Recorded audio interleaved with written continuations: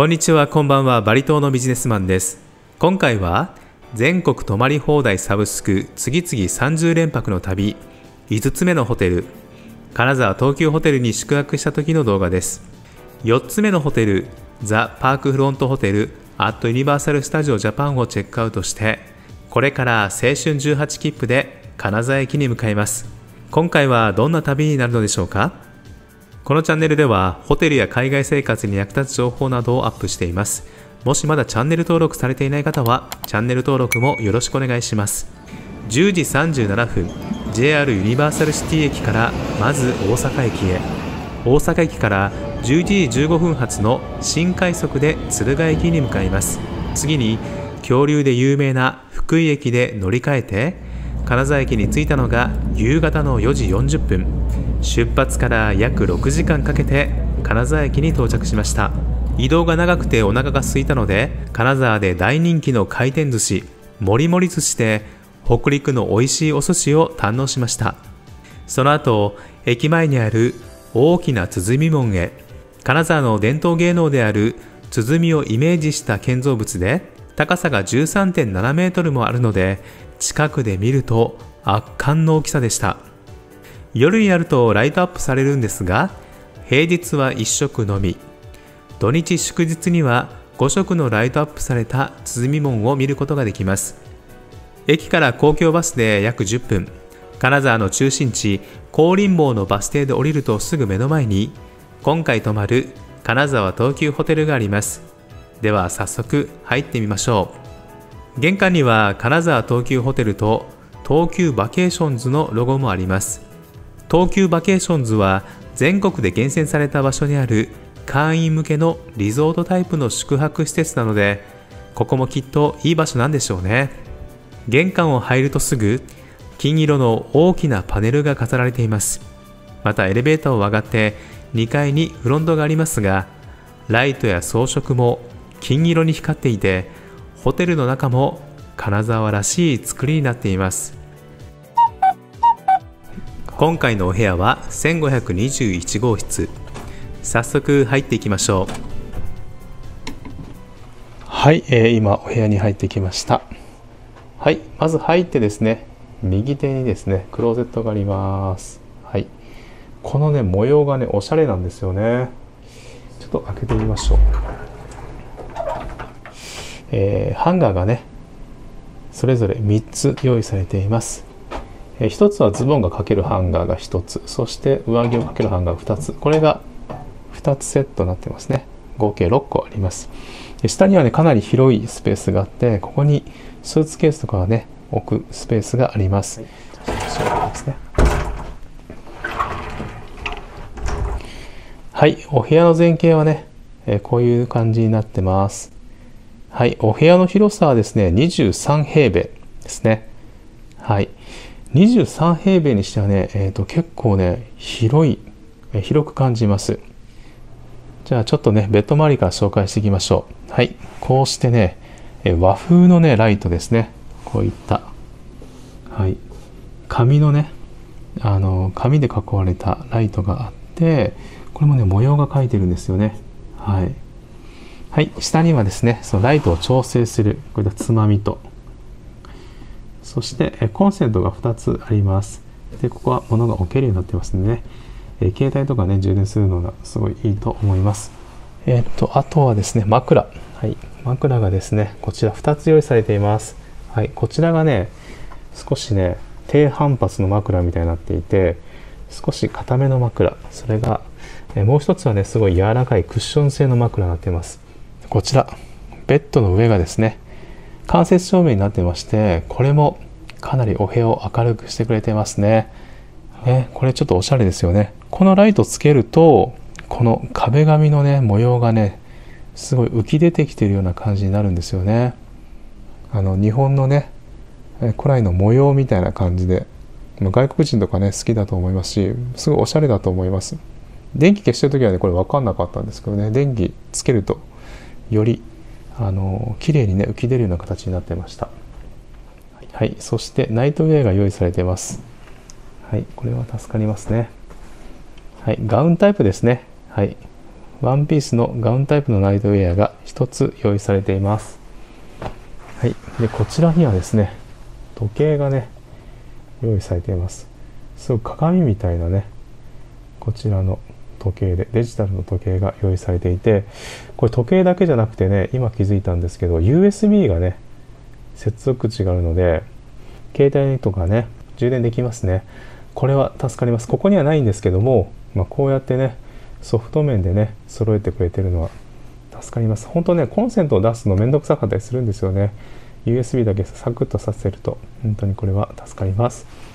でこちらも同じですね。電源が2つあってライトがあります。なので電源がねあのいつもより1セット多いんですよね。普通あのベッドに対してこういった電源って1つだけなんですけどここあのまあ、こちらのベッドの方これを使ってで奥はね奥でさっき紹介して端っこにあるんですよね。で真ん中にもあるんですよこれ。だから結構ねあの枕元に電源がそれぞれ使える電源3つずつあるあります。そして USB も1つずつあるので本当に助かります。もうコンセントはね多ければ多いほどねあの旅行者は助かりますからね。はい。こちらにはフットフットスイッチでつくね。はい。こういったスタンドがあります。これもねこれ上見てください。これ。こういったねあのもう伝統技法で作られたようなね。はい。もう日本古来のね技術がこういうところにも感じられますね。はい。六角形のねこれも和紙かな。これ紙ですね。はい。すごい柔らかい光になっています。はい。あと、こういったソファーもね、ここ用意されているので、とても親切ですよね。さっきあの座ってみたんですけども、かなり座りやすいです。はい、このソファーとクッションがですねこっちにもあってここでねゆっくりすることもできます。真ん中にはねコーヒーテーブルもあるのでまあねテレビ見ながらね2人でここでゆっくり過ごしたりね。反対側ねこちら窓の外を見ながらゆっくり過ごすこともできます。はい。これはね嬉しいですね。そしてついでなのでちょっとね窓も開けてみましょう。今ねちょっとカーテンの中に潜って撮影しています。ちょっと兼六園とかがねあの近くにあるらしいんですけど僕もねちょっと今入ったばっかりでどっちが兼六園なのか、まあ、金沢城がどこにあるのか全然わかんないんですよねただ今回あの15階というかなりね高層階あの入れてくださったのでもう景色はねかなり見えそうですはい、なので明日ね、ちょっと明るくなってからね、ちょっと地図と照らし合わせてね、えー、調べてみたいと思います。次々だとね、確かね、3階から6階ってなってたと思うんですけどね。はい、こちらには棚があります。はい、何が入っているのか見ていきましょう。これもね、おしゃれなんですね、このつまみ。はい。これもね、和風のつまみを使ってますね。はい。これ特別に作ったんじゃないですかね。あのこの真ん中のつまみだけだとね本当にあのどこでもね売ってるかのようなつまみなんですけどこの周りのねこの金具を足すことによってちょっとねまた和の感じが出てますよね周りのねこの茶色のね木とねこのつまみの色がとてもマッチしています。はい。すごいおしゃれなつまみだなと思いました、はい、えー、中にはですね、えー、下の器からねこちら、えー、ティーカップあマグカップなんですけどねこれもねおしゃれなんですよ。ちょっと下置いてきますはい。ちょっとカメラ今固定させてもらいました。片手だと怖いんで。これねきちんとした焼き物なんです。しかもここ金色なんですよね。はい。ちょっとねあの光がね今ねあの夜なのでねちょっと分かりにくいかもしれないですけどね、はい、まあ有名な焼き物なのかもしれません。はい、あとねグラスも2つついてるんですけどねこれもねおしゃれですよね。多面型のグラスになっていて、まあ、これでね何かあの美味しいお酒とかね、まあ、僕はお酒飲めないんですけども、まあ、ジュースとか、ね、飲むとねより美味しくいただけそうです。これも2つついてます。そしてはいこちら伊藤園のミネラルウォーターがねはい2つついてますね。はいこれは助かります。飲み物がね何がついてるかね見ていきたいと思います。はいこちら加賀棒茶って書いてますね。なんかこちら限定のお茶って感じしますんで後で飲んでみたいと思います。これが2つついてます。はいかがぼお茶。でドリップコーヒー。これが2つついてますね。はい。これ助かりますね。結構あの粉のコーヒーとかねインスタント置いてくれてるとこ多いんですけどもやっぱりねドリップで入れた方がね僕はね好きなんですよね。美味しいですし。はい。なのでドリップコーヒー大関係です。コーヒークリーミーカフェプラス。はい、クリームみたいなものですかね。はい。あとこちら、紅茶が2つついています。はい。あとは砂糖ですね。はい、砂糖が2つあります。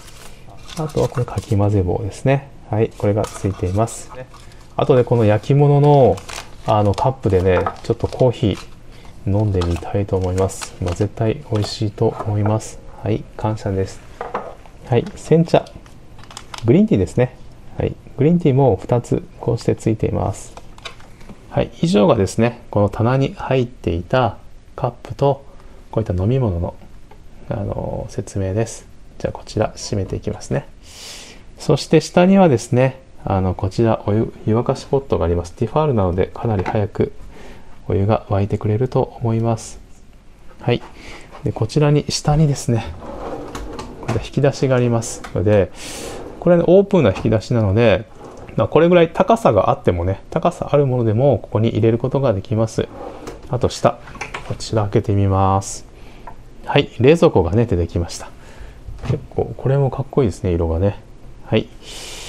冷蔵庫はね、あの、一般にホテルに置いているような冷蔵庫ではなくて、こちら棚とか全部ない代わりに、こちら、はい、2段になってますね。はい。上はね、冷凍になってるのかな？あ冷蔵ですねこれね多分ね。はい。はい。こういったもんね使っていきたいと思います。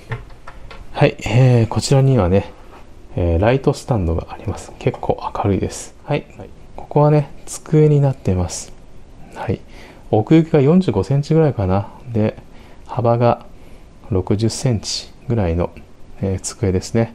はい。1人の作業する机があってはい、こちらにもね、椅子があります。はい、こんな感じですね。椅子が用意されています。なのでね、椅子が奥にソファーが2つ、そして、えー、こちらテーブルとセットになっている椅子があるので、合計3つ椅子が用意されています。こちらにもね、あのコンセント2つあるんですよね、こことここに。はい、なので結構コンセントの多い部屋ですね。はい、コンセントたくさんあるのは助かりますね。ここにヘアドライヤーって書いてますね。だドライヤーはここでやるみたいですね。1200ワットって書いてるドライヤー専用のコンセントになってます。はい。で、こちらにティッシュケースですね。はい。ここもね、ちょっとね、このティッシュケースもね、結構ブツブツになっていて、なんかそういった和紙とかで作ったティッシュボックスなのかもしれませんね。はい。これがまあブランド名なのか、こういう作りなのかちょっとよくわかんないですよね。手法なのかね。でもこのティッシュケース一つとってもおしゃれですね、はい、机の上にですね少しあるものを説明していきたいと思います。まず、えー、ワンドリンクチケットをもらいました。今回あのこちらのホテル2泊するんですけども金沢東急ホテルですね。はい、えー、2泊分ねもらいましたまこれはね本当にホテルによってもらえる量が違うなと思うのが、ユニバーサル・スタジオ・ジャパンの前のホテル行ったんですけどもあそこ2泊したんですけどこれ、えーと、2枚しかもらえませんでした。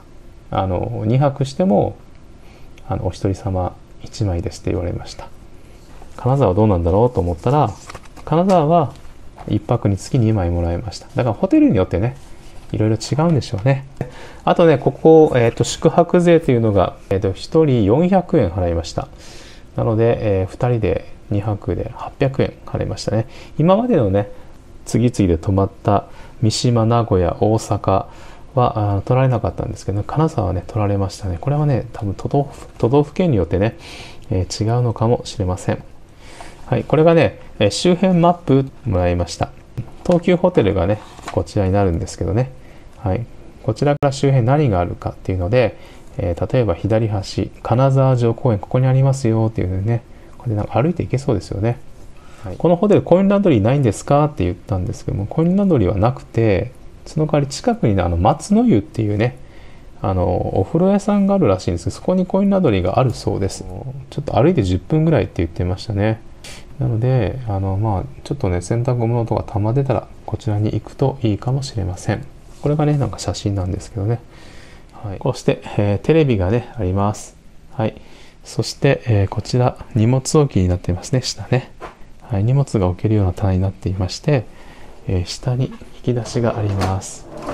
はい。ここにもね、え結構何か収納できそうですね。結構広い。そしてこちら。はい。セキュリティボックスがあります。かなり大きいセキュリティボックスが用意されています。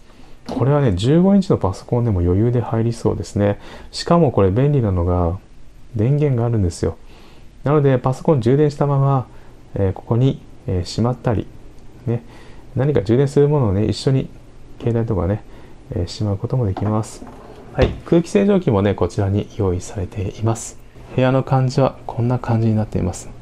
もう部屋の中からねあのこの金沢のこだわりが感じられる、まあ、そんな部屋となっていますね。あの本当にね日本人が泊まってもねあすごいなんかこだわってる部屋だなっていう思うような部屋になっています。金沢らしい部屋ですね。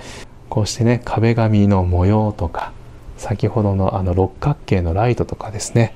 はい、ライトにねこうやって和紙を使ってたりとかこういったティッシュケースにもねはいこだわりを感じます。またこちらですね。焼き物とかこういった小さな取っ手のつまみにもねすごいこだわりを感じるお部屋になってます。はい、えー、次はお風呂を紹介していきたいと思います。じゃあお風呂開けていきますね。はいお風呂入るとですねまず目に入ってくるのがこの大きな鏡です。すごい奥行きがあるように見えてすごい広くね、えー、感じられますねはいそして上からのね間接照明じゃないですけど結構ライトがついていてとても明るいです。そして上にもね明るい LED がねついているのでかなりお風呂は明るいです。下を見てみましょう。洗面台ですね。はいこちら。かなり大きなね円の洗面台が用意されています。はいコップが2つ用意されています。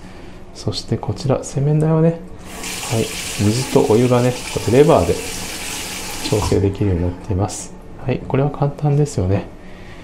はい、えー、フェイスウォッシュとハンドウォッシュが1つ用意されていて、えー、こちらにね、はい、タオルが2つ用意されています。こっちにもねあの大きめなねタオルがね、はい、2つ用意されていて、はい、こちらか。コンセントもね1つ用意されています。はいこちらウォシュレットになっています。最新型のウォシュレットではないんですけどもはいもう十分ですねウォシュレットがついてればね。こちら側にね浴室になります。はい。結構浴室はね足を伸ばしてゆっくりできる浴室の大きさになっていますね。かなり長さ的に余裕があるそんな浴室になっています。はい。こうして手すりもねついているので安全にねお風呂に入ることもできますそしてアメニティがですね、こちら、左からボディーソープ、シャンプー、コンディショナーとなっています。す、べ、てね、オーガニックってなってますんで、まあ、オーガニック製品をね、使っているみたいです。はい、シャワーはこちらになっています。結構ね、湯量かなりしっかり出るシャワーとなっていますね。はい、これだけ見れば十分です。はい、じゃあ今度アメニティをね、見ていきたいと思います。こちら、はい、体を洗うタオルが1つ、はい2つついています、はい、ヘアブラシ。これも2つついてます。今度は歯ブラシですね。はい。歯ブラシも2つついています。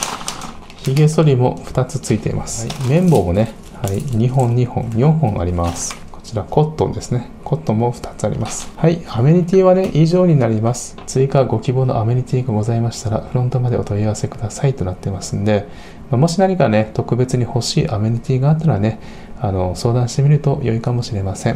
まあ、基本的なね、アメニティはもう揃ってますね。ただ、他の東急さんだとね、あの、女性用のクレンジングオイルとか、化粧水とかね、まあ、そういうのはね、あの、こちらではね、用意されていません。はい、以上がですね、えー、この金沢のホテルのお部屋の紹介になります。はい、はい、それではお部屋からは以上です。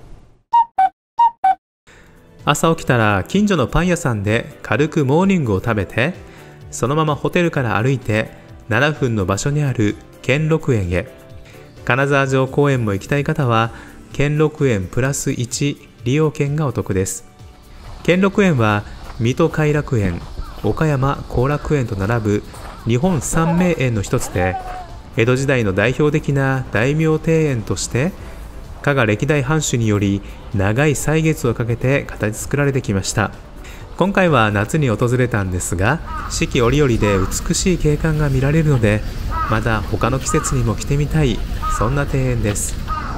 はい兼六園からね出てきてすぐですね橋を渡るとですねこうしてあのお堀だ昔お堀だったところがまあ道路になってるんですけどもはいこちら側がすぐ金沢城のね公園になりますはいお城跡があるみたいですねはい、なのでね、あのー、両方本当に近いので、セットでね、えー、券を買っておくとお得で良いと思います。それでは早速、金沢城公園に入ります。こちらに見える石川門は、国から重要文化財に指定されている門で、金沢城三五門の一つ、とても大きくて重厚な扉が圧巻です。こちらは河北門の内側の門、二の門です。河北門は金沢城の実質的な正門で先ほどの石川門と同じく金沢城三五門と呼ばれています。そしてこの二の門は中を見学することができます。壁や床などにはヒノキの一種である能登ヒバが贅沢に用いられています。公園の中を進むと目の前に見えてきたのは五十軒長屋。武器などを保管する倉庫として使用されていたのに加えて非常時には城壁の役目も兼ね備えていたようです。そしてこちらの門が最後の金沢城三五門の橋詰門。金沢城二の丸の正門にあたり城内で最も格式の高い門とされています。金沢城公園を一通り散策したらちょうどお昼の時間になったので今度は歩いて10分の近江町市場へそこで海鮮丼を食べてホテルに戻りましたホテルに戻ったらラウンジに直行。ワンドリンクチケットを使います。外がとても暑かったのでアイスコーヒーを注文。一緒に生チョコをつけてくれました。はい、えー、インターネットのスピードを測りたいと思います。はい、それではスタート。はい、えー、ダウンロードは 340mbps ですね。かなり速い方だと思います。アップロードも275、これもかなり早いですね。なので、はい、これは快適だと思いますね。はいえー、金沢東京ホテルでは飲み水として地下50メートルから汲み上げたお水を減水とした水道水を利用いただいております。あのミネラル、カルシウム、高度が低くて飲み口が優しく、えー、炭酸成分の少ない飲みやすい水ですとあります。なので、あの、水道水がね、あの、利用できるみたいです。はい。これ助かりますね。あの、わざわざ買いに行かなくてもね、美味しい水がね、蛇口から出てきてるという感じですね。なのであの昨日ねあのチェックインして夜ゆっくりした後にお茶結構飲んだんですけども美味しいんですよねやっぱりねお茶がね。やっぱ水がいいからでしょうね、あとこちら。はい。夜だったのでねあのお部屋のがちょっと暗くてねちょっと見にくかったんですけどあの今日兼六園とか行ってきたんですけどね九谷焼の焼き物がねあのこの辺たくさん売ってたので多分九谷焼じゃないですかねすごいいい器だなと思います。あとね、昨日ちょっとね、あの、外の様子がね、わかんなかったので、今日ちょっと外見てみたいと思います。ホテルの窓から見た景色はね、こんな感じになっています。本当にね、歩いてここから行ける距離で、兼六園と金沢城公園ね、2つ行けたのでね、それ良かったです。そしてその後、えー、近江町市場ですね。はい。えー、海鮮丼をね、いただくことができました。それでまた休憩してからね、あの、夕方涼しくなってからまた出かけたいと思います。はい、それではお部屋からは以上です。ホテルから歩いて2分の場所に長町武家屋敷跡があります。ここは昔ながらの土塀や石畳、また旧家が藩士が住んでいた武家屋敷跡が残っていて、昔の城下町らしい石畳の小道を散策できます。こちらのお店も周りの景色に溶け込んだデザインになっていて雰囲気がいいですよね。夜になってもう一度長町武家屋敷跡を歩いてみました。夜はかなり暗くてすれ違う人もまばらですがより昔の時代にタイムスリップした雰囲気が味わえるのでおすすめです。こういった場所はいつまでも残してほしいですよね。